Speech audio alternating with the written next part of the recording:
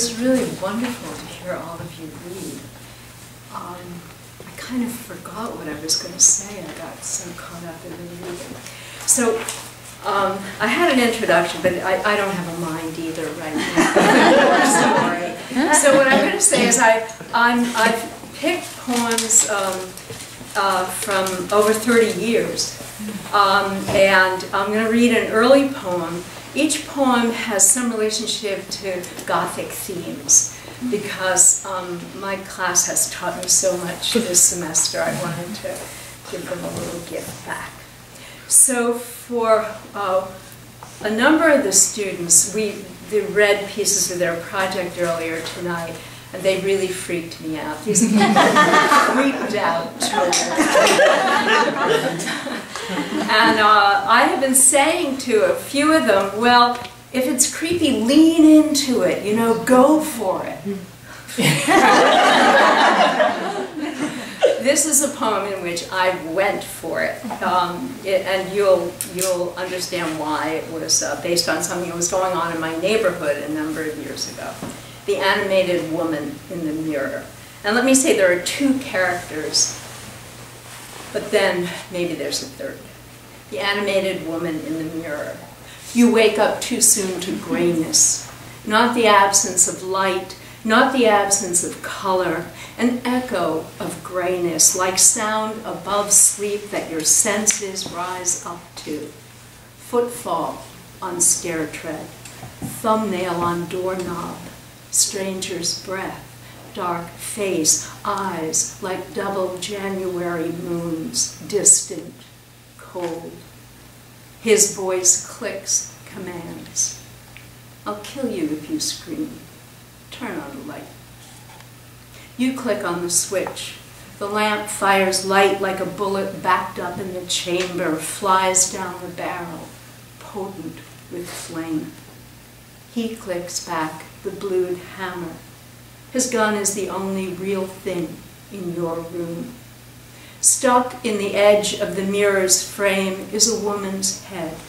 Stuck in its center, her torso. Caught by a lens larger than the room. That hammer click a shutter which shifts the scope of your life. Take it off, doll. Hands in the mirror lift flannel over knees, hips, breasts, shoulders, head an animation of a woman undressing in a mirror. You watch her with the stranger. In the mirror, the gun sight flicks the woman's upper lip. Suck on this. She laps her lips over her teeth, leans into the barrel. Her mouth slides toward the chamber, back to the tip her eyes, looking out from the mirror, see nothing, while you, merely watching, curl your tongue away from the barrel's blue cold. You want the mirror to stop its movie, and the stranger in this theater that once was your room to leave before he speaks again. Tell me to do it. The female animation in the mirror lifts her mouth from the barrel. What? A dark glove enters the mirror like a rocket exploding on her cheek. She sobs. Her tears are salt in your mouth, in the wounds of your eyes. You shut them. Better blind than a witness to a victim you don't know. Okay. so, so, so it's a way to exercise fear, right? Is to say the worst. The worst you can imagine, or the worst that is, or the worst that was. And I really think that's what writing does, but also the best. You know? There's no best in this reading, unfortunately. But in my book, there's, there's a lot of best in the book, not in the reading. So I'm writing a sequence of sonnets um, that uh, uh, are in the, uh, it, they're sonnets, but there's a very difficult thing for me to do because I'm a poet. Um, and that is I have to maintain a very close third person voice in these sonnets. It's killing me. so uh, there's a bunch of them, but I'm just going to read one. Um, one of the things we talked about in uh, Gothic is ab the abject, how something is ashamed and demeaned, frequently women in the, in the Gothic, but not only. Everybody can be abject. Mm -hmm.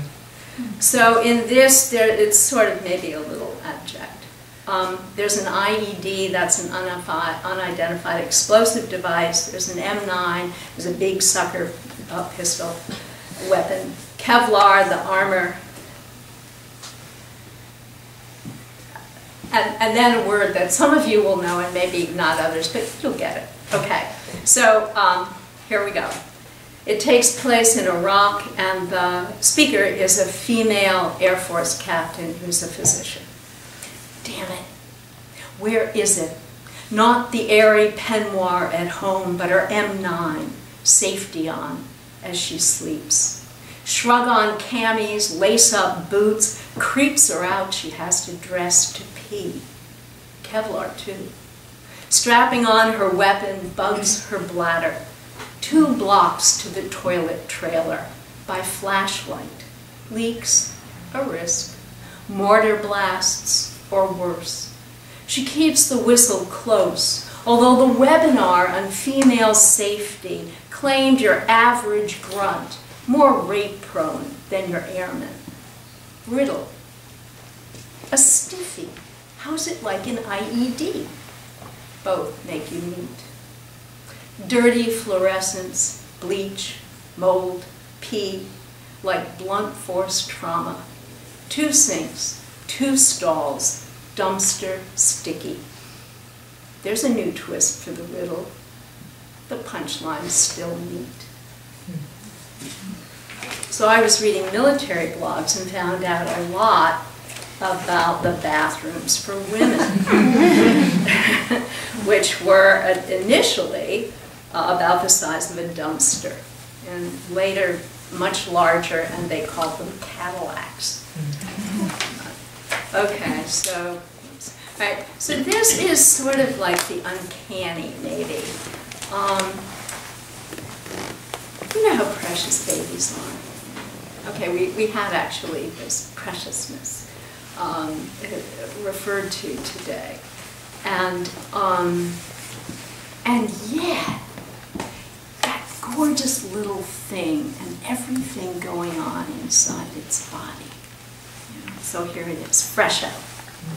Out where it's spacious, she begins to unfurl. Air, unfiltered light and milk, new mediums for growth. Of course she will flourish, fatten, dimple.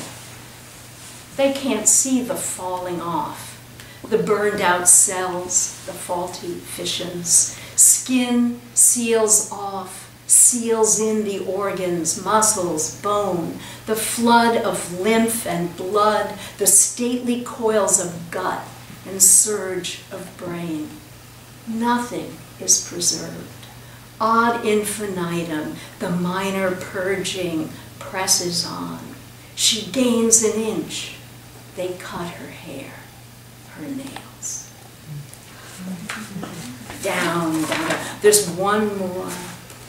Let me see how down this is. Oh this is this is a little lighter. oh my gosh, what was I thinking of? Okay, so um, it's it's an experience everybody has had. You you look in the mirror and you don't know who it is. it's you. It's you. And it, maybe it's not maybe it's not what you wanted to see at the moment, or maybe the face doesn't match the inner moment.